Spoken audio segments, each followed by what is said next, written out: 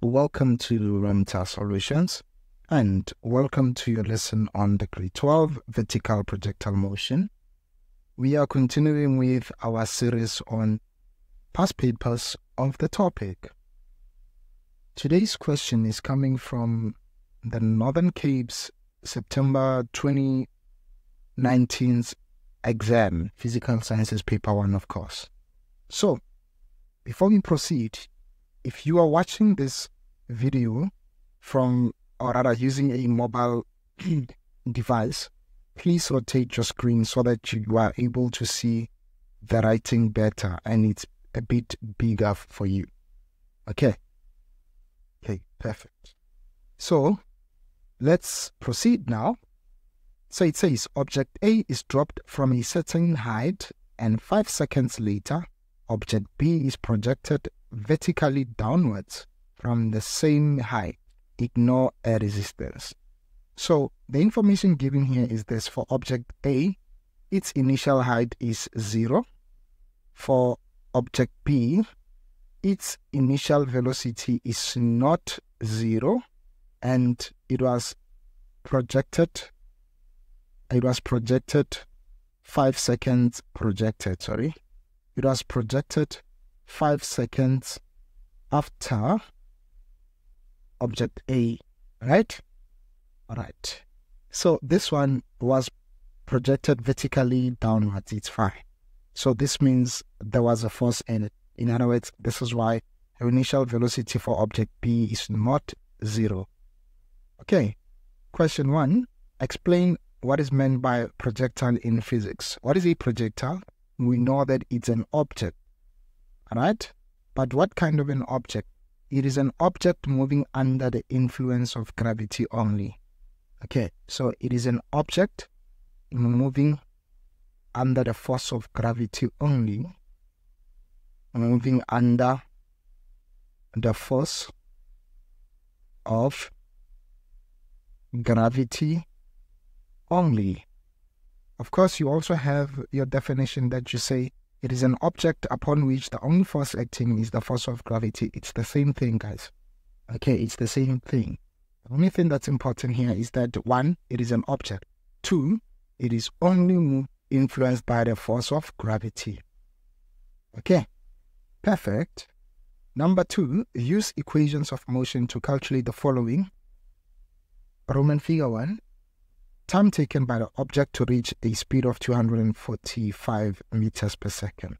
This object is dropped, so I will take downwards as positive, okay? I will take downwards as positive. Okay, I will take downwards as positive. So we will use the formula VF equals VI plus A delta T. What is VF? They gave it to us. It was that 245 meters. It's positive because the object is dropped and we're not giving any information concerning the bouncing. So it's simply that. It's uh, 245 meters per second downwards. It was dropped, so its initial velocity is zero. Gravitational acceleration constant, it's going to be positive 9.8 because we said downwards is positive delta t. So what is our answer? 245 divided by 9.8. Let's see. 245 divided by 9.8 is delta t is 25 seconds. Alright, delta t is 25 seconds. Alright. Now, let's get to the second question.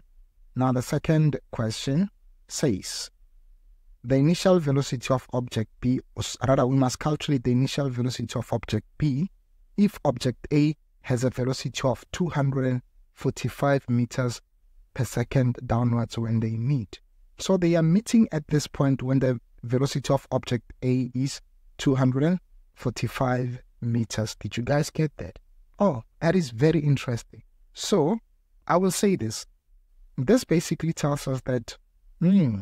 delta y of object A must be equal to delta y of object B. This is when they are meeting. Okay? All right, perfect. So let's begin with object A.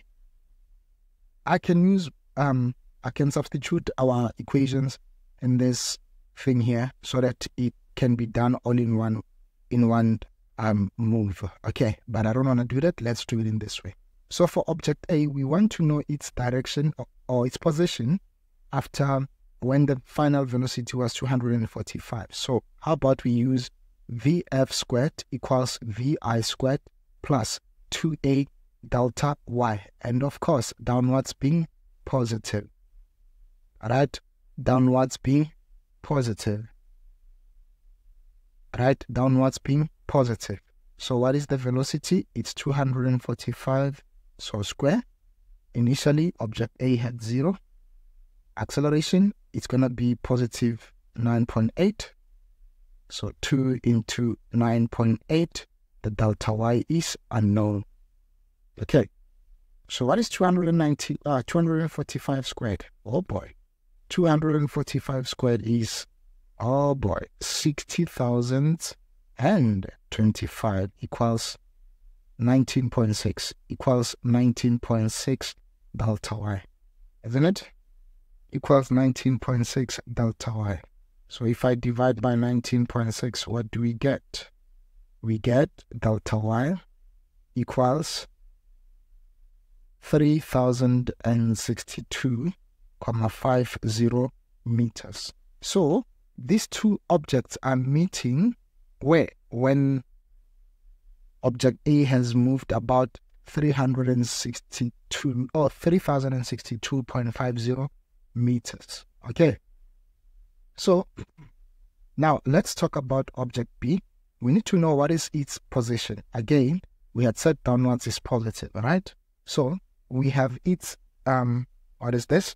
We have its initial velocity. We also have its, um, oh, we don't have its initial velocity. We have the time.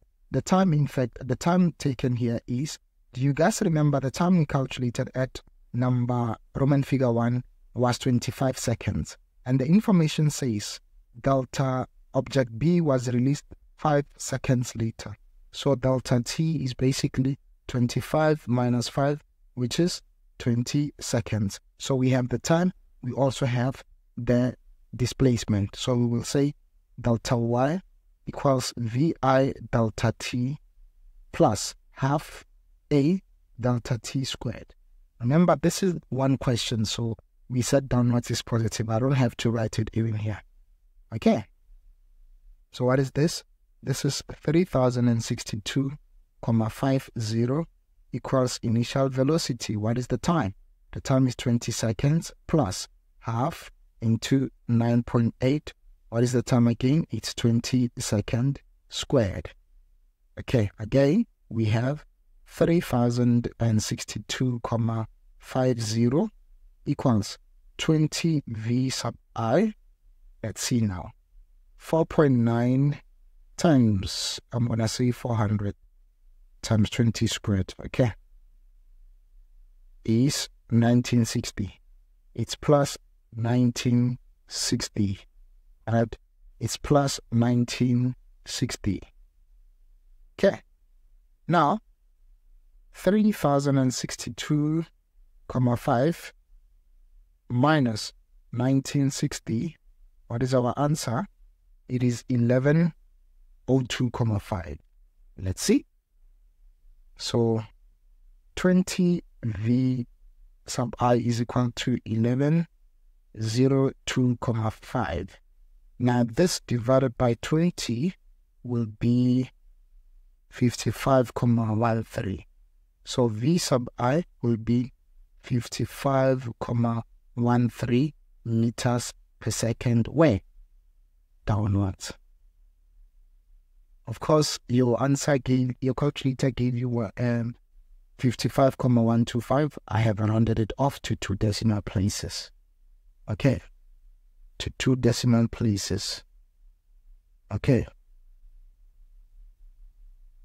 Okay. Seeding. Now, let's then proceed to question three. But before proceeding to question three, I hope you guys understood this question. Remember, the key thing here, our hint was that we should calculate the initial velocity of the object B if object A has the velocity of 245 meters per second downwards when they meet. So when they meet, that means their positions are the same, right? That means their positions are the same. This was the key part of this question. Okay. Now, they say sketch the velocity time graph for object B from the moment it was projected until it reaches object A. Woo! From the moment it was projected until it reaches object A. Now, something about this question is that it didn't um, give us or indicate on the graph the initial velocity, final velocity, and the time taken by the object to reach object A, or the time taken by object B to reach object A. What's unfair with this question is that we didn't calculate final velocity of object B, right? So we have to find that. I'm going to say downwards being positive, of course, like we've been saying all along in this question. Okay, downwards is positive, so I'm going to use the formula VF equals VI plus A delta T. What is this? This is the final velocity. I don't know what it is. What is the initial? It was 55.13. Acceleration is 9.8 and the time is simply 20 seconds. So let's see it. 55.13 plus 20 times 9.8. What do we get? We get 251.13. 251.13 meters per second downwards. Alright? So we need to we need to sketch velocity versus time. So this, because we had said downwards is positive, the slope will be positive as well. Okay, so what is our initial velocity? Um, let me do this. So this is velocity in meters per second. Oh, sorry, meters. Per, maybe let me go to the next page. Yeah, let me go to the next page so it's bigger. Okay, so it's gonna be it's gonna be v in meters per second, and the time, of course, in seconds. Now, where did the object start? The object started at 55,13, I believe. At 55,13, there was its initial velocity. And then where did it end? It ended at 251,13. 251,13. All right? So this is the object. Now it doesn't end there. Um, the time was 20 seconds. The time was 20 seconds. Okay, the time was 20 seconds. So let's see if we have initial velocity. Here is it. Final velocity. Here is it. Time taken by object A to reach, um, sorry, time taken by object B to reach object A. Bah, 20 seconds. Right, it took you 20 seconds, right? Ah. All right. So this is it. And this is how you answer these questions. So let's look at this question. It was worth, let me see, for 8, 11, 13 marks. Okay, it was 13 marks. Okay, so this is it, guys. I hope it somehow helps you to understand this topic further. So, with that being said, it's a wrap and bye bye.